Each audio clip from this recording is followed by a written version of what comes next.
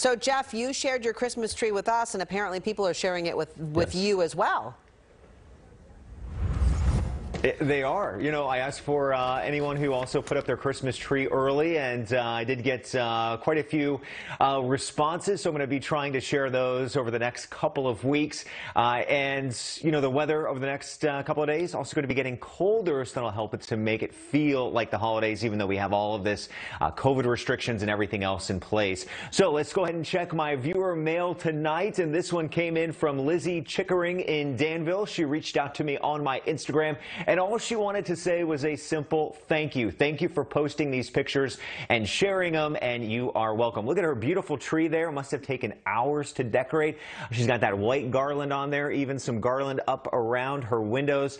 That is magnificent. Uh, Lizzie sent in several more pictures, so we might be seeing uh, more of her living room also in the weeks ahead. If you want to get a hold of me, uh, check it out, Jeff Ranieri on Instagram, Twitter, or Facebook, and I'll try to share these pictures as I get them. I'll have more coming up at 6 p.m. tonight. So that storm system that's going to help to drop temperatures and make it feel colder, that begins to arrive as we move through tomorrow. Only a spotty chance here of some drizzle. It's mainly some dropping temperatures for the mornings over the next couple of days. And you can see the drizzle and a few isolated showers offshore by 2 o'clock in the morning right there near Guerneville.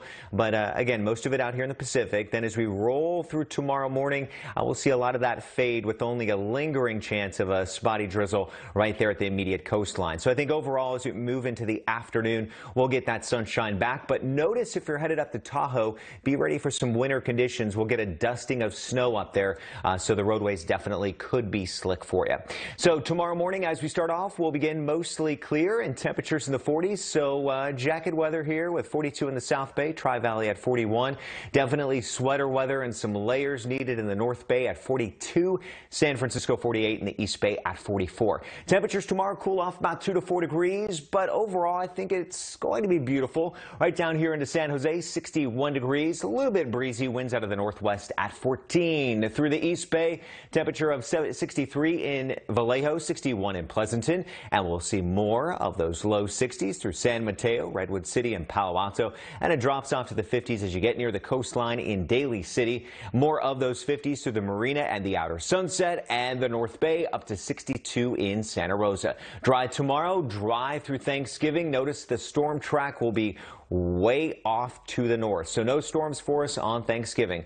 In fact, right now it looks dry as we head through the next seven days. Morning lows in the 40s for San Francisco, afternoon highs in the 60s through next Monday. And my forecast for the inland valleys, the big headline here is by Thanksgiving morning down to 36 for the average inland. And we'll keep with those cold 30s for the mornings right into uh, this upcoming weekend. So lots of photos. I'm not feeling alone by putting my tree up early this year. I knew I wouldn't be the only one, but it, it's it's really cool to see all those pictures coming in.